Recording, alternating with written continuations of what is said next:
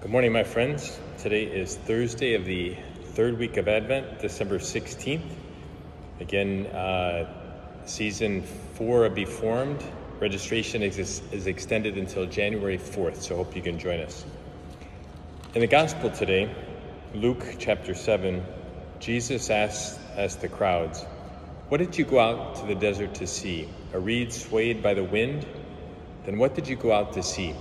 So they were complaining that you know, they probably thought this John the Baptist guy was crazy. He was eating locusts and, and wearing, you know, hair shirts, and it wasn't what they expected.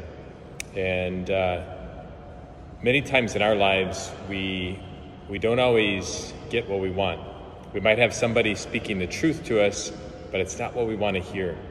And St. Paul predicts that, that there's going to come a time when we just seek to hear what we want to hear. You know, we want to um, we tend to believe what we want to believe. And, uh, and so John the Baptist is out there preaching the truth. And what is he saying? Repent and believe in the gospel.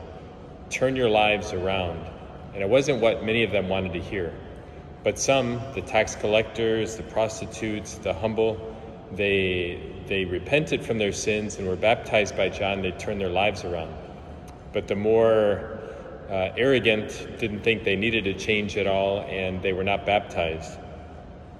And, uh, you know, Jesus went on to say, um, all the people who listened, including the tax collectors who were baptized with the baptism of John, acknowledged the righteousness of God.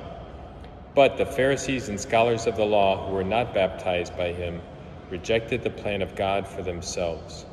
Maybe these aren't the direct words of Jesus, but it's in this, this gospel story. And so I think about it in my own life, sometimes when I hear the truth, it, it hurts. It's not what I want to hear. But I have to stay humble and say, okay, where is the truth in this? When somebody corrects me, my natural response interiorly is to is to prove that I'm right. Uh, but I've got to stop and say, Lord, what are you trying to teach me here? What's the truth in what's being said here? Where do I need to repent? Where do I need to change my life? And God is always there waiting for us to change, right?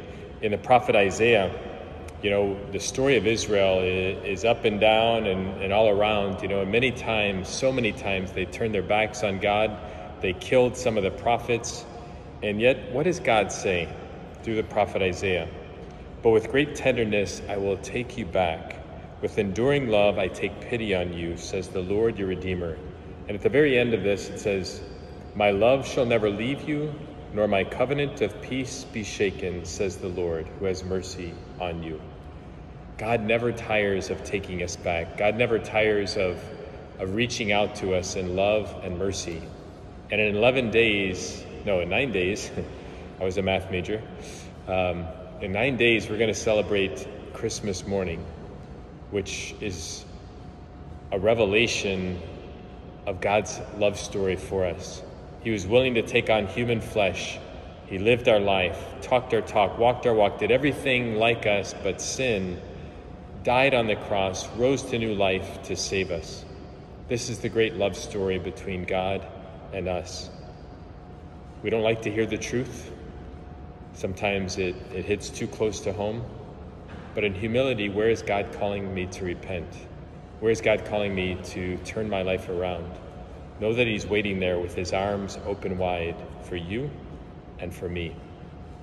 Let us pray. Heavenly Father, we thank you and praise you for your mercy. We thank you for your faithfulness. We're sorry for turning our backs on you.